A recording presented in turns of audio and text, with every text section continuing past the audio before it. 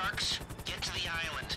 It's only a matter of time before he does a Butch Cassidy the nut job.